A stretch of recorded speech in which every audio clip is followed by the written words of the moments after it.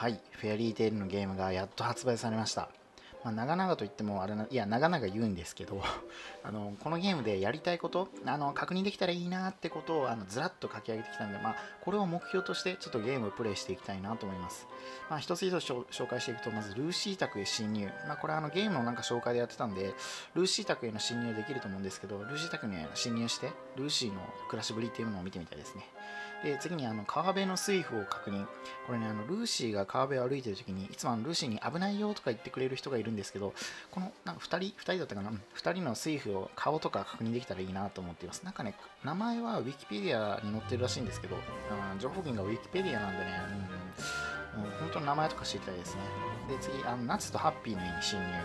これは夏とハッピーの絵が実はあるんですよ。あの原作でも2回ぐらいしか登場してないんですけど夏とハッピーの絵があります。なんかね郊外にあるらしいので、うん、それも再現してくれてたらいいなと思いますね。で次にあのフェアリーヒルズ見学。あのフェアリーテイルの中あのギルドには女子寮っていうものがあってそれがフェアリーヒルズっていう名前なんですよ、ね、そこにちょっと行ってみたいなと思います。あのレビーとかエルザとかが住んでるところですね、まあ、ここはなんか家賃が高くて1部屋1ヶ月10万円とかするらしいですね。あちなみにエルザはその部屋を3つ借りてます。で物価の調査。あのフェアリーテールの世界観物価がよくわかんねえと。だからあの物価がわかるような情報があったら嬉しいなと思っています。で次にあの、えー、マーメイドヒール人魚のかかとのマスターに会いたい。で次カナの家に侵入。あもうこれもねルーシーとハッピーと一緒なんですけどカナの家っていうのが絶対あるはずですと。でどうもフェアリーヒルズではなくて女子寮ではなくてちゃんとした一軒家に住んでいるような描写が扉絵であるんですね。だからもしかしたらあるんじゃないかなということで、カナタクを探します。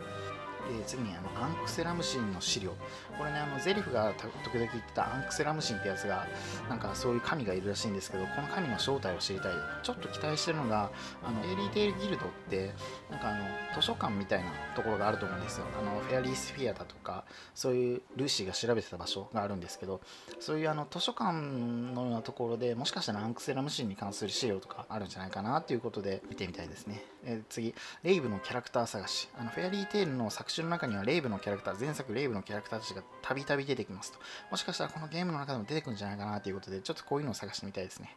で次、あのエクシード村へ訪問。名前が出てこない。アースランドとエドラスか。エドラスで暮らしていたあのハッピーたちの種族、エクシードってやつらがいるんですけど、これがあのアースランド側に、えー、移ってきていますと。アースランドのエクシード村っていうのどういう風にみんな過ごしてるのかなっていうのを調べてみたい。なんか扉絵で全員集合みたいなのあったんですけど、まあ、どういう村なのかちょっと見てみたいですよね。うん、で次、カイニー光の生存確認。これはあのグリモアハートのカイニー光っていうキャラクターがいるんですけど、このキャラクターが生きているかどうかわかんねえと。またどうもなんか死亡してるような話はあるんですけど、まああの死亡確定ではないと、もしかしたらあの生存してるんじゃないかということで、このカイニー光が生きてる痕跡っていうのを探してみたいですね。で次、あのレビーの生い立ち調査。これね、あの意外に謎なんですけど、レビー・マークガーデンの生い立ちが実はよく分かっていないと。なのに、ちっちゃい頃からフェアリーヒルズに住んでいて、ななお金持ちなのか工事なのかよく分かんないとか、そういうレビーのあの生い立ちが分かるような資料があったら嬉しいなと思っています。で次、あの晴天大魔道の残りの2人。なんかあのね、ランキング形式で、えー、晴天大魔道の残りの2人は誰だみたいな情報があれば嬉しいなと思っています。で次、え大和党演舞の、え、観客席の確認、これ何を確認したいかっていうと、実はあの大和党演舞の観客席にハレンチなカップルがいるんですよ。どれぐらいハレンチかっていうと、あの彼女の胸を揉み砕いてる男子がいるんです。それがちゃんとゲームの中でも再現されてるが、うん、このこれ再現されてたらすごい再現度高いと思いますね。え、次、え、精霊の生態調査。これ確かね、あの大和演舞が始まる前にあの精霊館に連れてかれたんですよ。で、そこであの精霊の生活っぷりっていうものが詳しく知れるんじゃないかなっていうことで精霊がどういうふうに、えどういうところで住んでるのかなっていうのが分かればいいなと思っています。え、次、え、妖精の尻尾図書館田んぼこれさっき言ったんですけどあのフェアリーテイルには絶対図書館みたいなところがあるんですよあのなんかなんか資料を見てみたいなと思っています。はい。次オーブラの正体確認オーブラ。このオーブラねあの大魔党演舞で出てきて超重要キャラクターなのかなっていう風になんか出てきたんですけど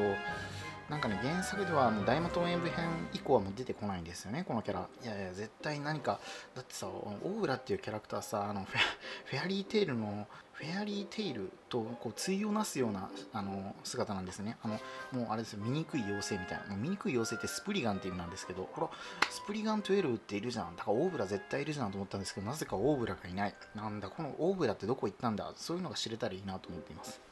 次、えー、知らないギルド。これはね、あの闇ギルドとかね、なんか公式に載ってないような闇ギルドがもしかしたらゲームの中で登場するんじゃないかなと思って、そういう楽しみがありますね。はい、次、フィオーレ王国の文化調査。フィオーレ王国ってどういう文化なのっていうのがちょっと知りたいので、あの文化とか調査できたらなと思っています。次、えー、ギルダーク宅へ侵入。これはあの、あれですね、ギルダークとカナの家って別々なの、それとも一緒なのっていうところから来てるんですけど、まあ別々でしょうね。まあでもあの、ね、あのルーシーたちが住んでる町ってギルダーツのためになんかあの、ね、ギルダーツがあのあのぶつかって何も壊さないようにあの町自体が改造されてるはずなんであのギルダーツの家っていうのが絶対あるはずなんですよこれを見てみたいなと思っています、はいえー、次エルザの鎧コレクションエルザって鎧めっちゃ持ってるじゃないですか乾燥乾燥っつって、うん、それをちょ早早く見てみたいな、うん、何個持ってるんだろうね。100とかあんのかな。次、えー、戦争の歴史。フェアリーテイルの世界ではマスターのメイビス。メイビス・バーミリオンが生きてた時代は戦争をいっぱいしてるはずなんですよ。戦争がどういうどういう種類があったのか、あなんかね、いっぱいあったと思うんです。で、その中でユーリ・ドレアも死んじゃってるので、ユーリ・ドレアって戦争で死んだの？それともなんで死んだのっていう死因とかも分か分かればなと思っています。はい。えー、次、ヤクマ族の言葉。これ、ヤクマ族って何かっていうと、名前が出てこない。あのね、セイバートゥースのミネルバ、ミネルバさんが気分が高揚するを使っちゃうヤクマ族の言葉っていうのがあるんですけど、あのこれ、メイビスも驚いてたんですけど、危険な言葉みたいな感じで超驚いてたんですけど、このヤクマ族の言葉、なんかいろいろ知れたらいいなと思っています。なんだそりゃ。はい。次、知らない闇ギル。あ、これさっき言っちゃったのでパス。次、対人関係。対人関係、そうですね。例えば、あ、ジュビアとグリモアハートの、えー、メロ、メロ、メロディ、メルディか。メルディとジュビア。これなんかあの2人ともいい関係なんですよね。あの親友みたいな。そういうあの対人関係が分かるような、うん、やり取りがゲームの中だったらいいなと思って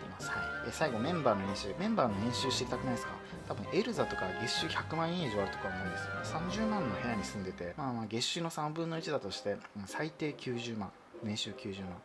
まあ、SQ クエストとかね、1人でやるとね、1回やるだけで100万以上入ってくるんで、絶対年収とかあると思うんですよ、あのエルザ。はい。まあ、そういう各々のあの年収とか知りたいですね。あ以上、ちょっとあのいろいろしゃ べりすぎちゃったんですけど、まあ、あのこのゲームをやる上で、まあ、ただやるんじゃなくて、こういう目的、こういう情報をこう探していきたいなっていう目的を立ててみました。あのあまりね、喋りがうまくないので、こういうべしゃりの練習みたいなところもあるんで、あの温かい、温かい目で見てくださいとか、あの温かい耳で聞いてください。はい、はい、ではよろしくお願いします。